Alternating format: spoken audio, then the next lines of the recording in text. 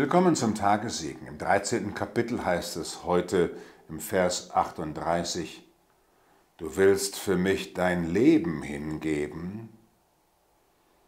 Amen, Amen, ich sage dir noch, ehe der Hahn kräht, wirst du mich dreimal verleugnen. Große Versprechungen hat man ihnen auch schon gemacht, das kennen sie, hm? dass jemand ihnen was Großes versprochen hat. Und was dann dabei rausgekommen ist, Verrat. Was dann dabei rausgekommen ist, gar nichts. Der Berg kreiste, dein Mäuslein wurde geboren. Der Petrus, der sich groß aufbaut und am Ende ein Angsthase.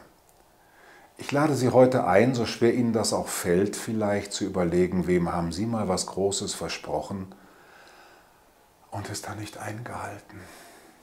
Ist nicht so schön daran zu denken. Ich weiß aber, das gehört eben auch zum Leben.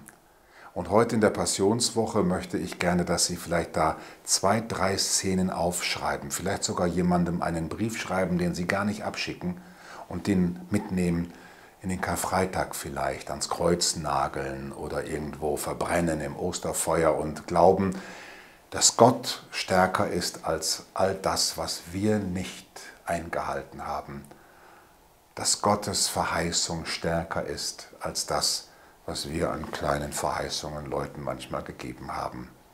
Er stärke sie auf diesem Weg des Neuwerdens, der dreifaltige Gott, der Vater und der Sohn und der Heilige Geist. Amen.